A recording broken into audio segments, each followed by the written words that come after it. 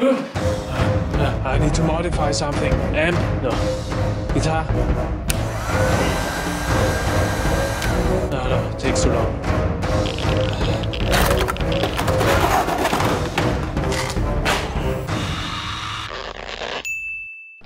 My son, I want you to turn this into the greatest volume pedal in the world. But you know I can't work under such pressure. I have spoken.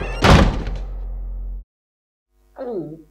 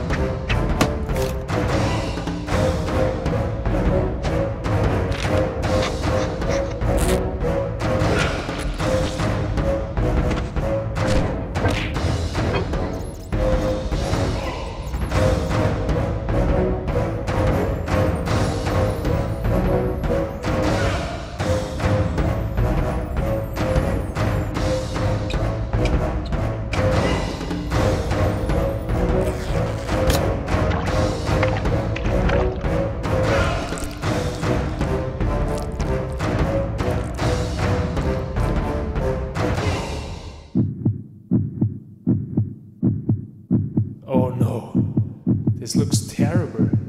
I ruined it.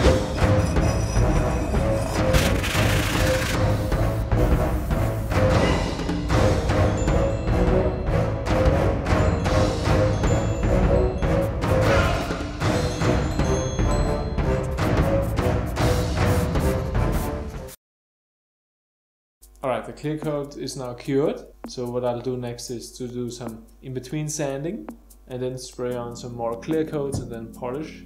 But for this one, the surface turned out really rough. It's like sandpaper. Probably best thing to do is to do in-between sanding to get it smoother. But I don't know how that will work with the flakes with the glitter in it. So I will just at first test sand it just in this area where the pedal will go on top. So if I mess up, you won't really see it at the end. And then probably proceed to, to sand everything.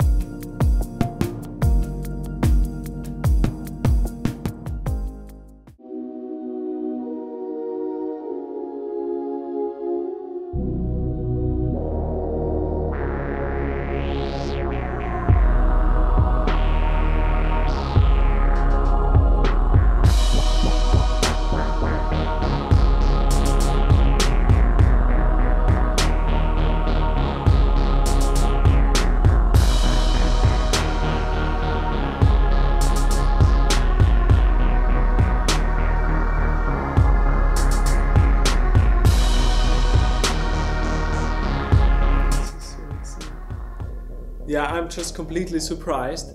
The clear coat with the glitter in it used to be so rough and uneven. I never thought I could get it to be a glossy finish. But after hours of sanding, yeah, in the video it looks really quick, but in reality it was hours of sanding. I got it to be an even surface, then polished it with the new machine, and now it looks like some sparkling marble stone. This also means I can do glossy finishes now. So it's a first for me. Also the flame maple uh, came out really great. There's some waviness to it, but it's it's good. Uh, so I would rate this a four out of five on the being happy with something scale. All right, so let's plug it in. Looks like I've made a bonus mod for this video. The bonus mod will be at the end of the video. Let's first check out the volume pedal. Example number one are some clean chord volume swells with some shimmer reverb on it.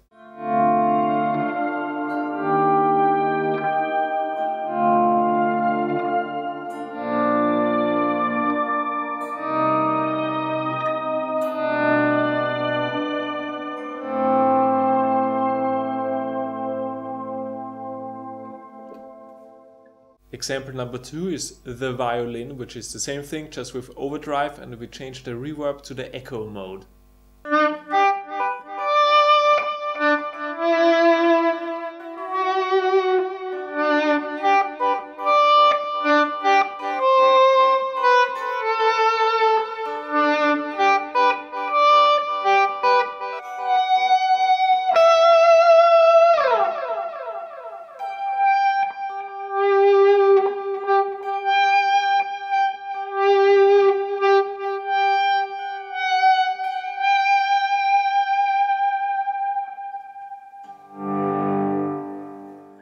And now the secret function. When I switch the volume pedal off on the pedal switcher, there's an extra cable connecting it to the speed knob of the Univibe. So now I can control the rate of the Univibe with the volume pedal.